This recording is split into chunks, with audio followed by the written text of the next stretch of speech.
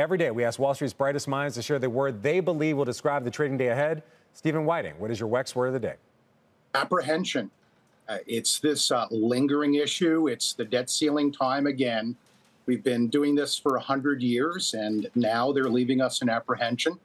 So there's a, a good deal built into the uh, front end of the Treasury market. This is a partial uh, sense that there's a small chance of a shock. I think that that is uh, priced into the Fed funds futures market. And we're going to move markets one way or the other.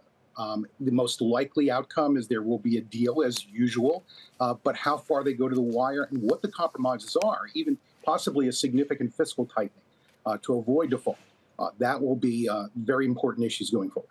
Yeah, it seems like we might face some turmoil if this takes longer to settle than June 1st. Um, and in the past, we've seen like a lot of just ripples in the economy due to this, you know, political wrangling. We're going to call it that for now.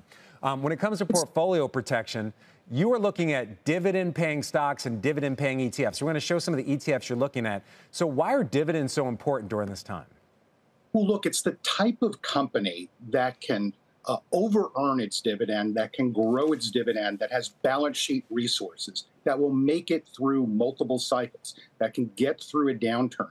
So those larger, healthier firms from balance sheet perspective, that is just playing defense. Now, it performed really well last year. It outperformed the market. We don't think it will perform well all the time. After apprehension will come relief. Uh, but uh, that's what we're doing, playing defense, trying to earn quality income, both in the bond market and in the stock market during this time when the economy is constrained uh, and the Fed's, uh, quite frankly, trying to end this expansion. All right, as we mentioned, CPI is coming up later today. What are your expectations? How influential do you think this data report will be to the Fed's decision at its next meeting? Of course, we have other reports, a jobs report, another inflation report before that. You know, CPI data is really history. The thing that they've been looking at most, the CPI for services, which is linked to domestic wages, uh, is an official member of the index of lagging economic indicators. It's been coming down. This month is not expected to show a lot of uh, progress coming down.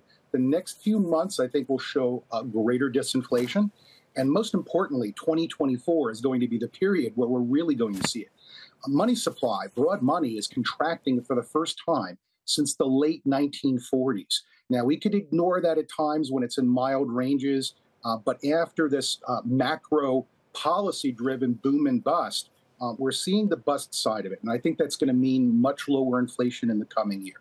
And it does mean, again, that I think that the Federal Reserve will swerve. There's no good reason for the U.S. economy, having shown so little net progress since COVID started, uh, to have a, a, a, serious downturn now. Wait, you're saying there's there's no reason for the U.S. economy to have a serious downturn? There's no reason for policymakers trying to uh, essentially treat the effects of their past easing, right, to force the American economy down hard. That's a very interesting take there, Steven. Um, I also want to look ahead to PPI while we have you here just talking the broader economy. Um, another uh, reading of inflation, this time for businesses and the cost that they have there. What do you expect in there? And is that also a meaningful input for the Fed? Because they said that the banking crisis was something they were looking, but they didn't make a decision based on that. It's uh, uh the, fact that we've seen that we've seen some relief on the good side of the economy and that certain services prices are still moving up. Uh, there's still pent up demand the PPI for final demand uh, in services is going to show some strength. Uh, but what we've seen in the good side of the economy is a leading indicator for services. Um, we have seen generally restrained production. We have high and falling inventories.